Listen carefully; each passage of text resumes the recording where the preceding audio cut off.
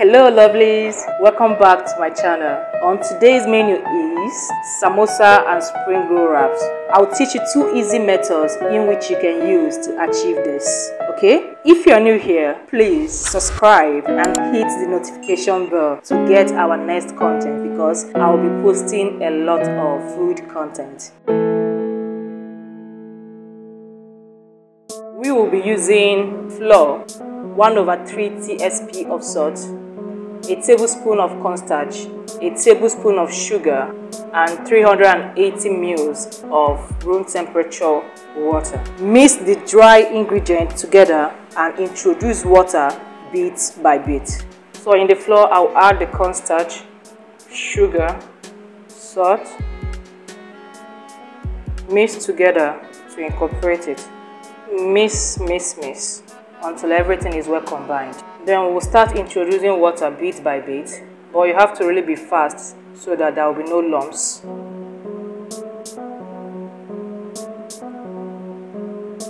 This is what we are looking for. You want it to be very smooth.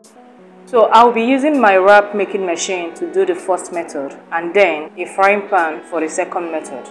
This is what my wrap making machine looks like and I'm going to switch it on you allow it to preheat for at least 30 seconds to 60 seconds, which is roughly one minute. I already have the batter inside the bowl, so I'll show you how you can use the machine to make your wraps. So remember, you dip it in. You can fill here up if you want to, to get a perfect circle. You give it a little bit of time so that it will cook. You don't want to see any wet batter on top, okay? You want it to be well cooked. Like when you touch it, it should be very, very cooked. And it shouldn't stick on your fingers, okay? Once it starts pulling up, I don't know if you can see this very well. Look at it here. You see? It is already pulling up. When it starts pulling up from the edges, that shows that it's almost cooked, okay? So I'll go check it out and see how far. Yeah? See? Whoa you have to be very careful with it. It is always very hot. You keep on going until you exhaust it. So this is the second method, which is the frying pan method on a stove top.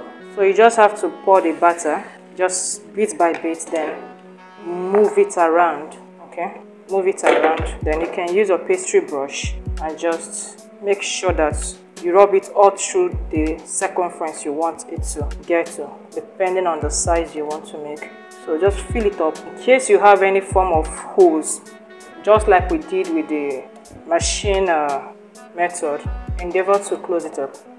Just like the other one the wrap is well cooked when the wet batter is cooked and it begins to pull from the edges. As you can see when you look over here it's already pulling from the edge okay wow that's beautiful. Whoa it's very hot.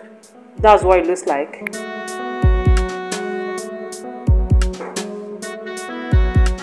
This is the machine method and this is the frying pan method. And when you look at it, you see that the machine method is just round. When you look at the circle, the circle is a real circle and um, it is well outlined. While the frying pan method, in as much is still edible, beautiful, but um, the shape is looking so awkward due to the fact that, you know, we have to do it manually look at it, you will see that you can see my hand through the wrap. And the same thing with the machine metal, You can as well see my hand through the wrap.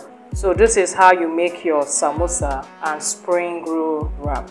Okay, and um, after this, you have to fill it with your homemade samosa or spring roll fillings and wrap it. I also have A to Z recipes of the entire process for those who want to learn step by step.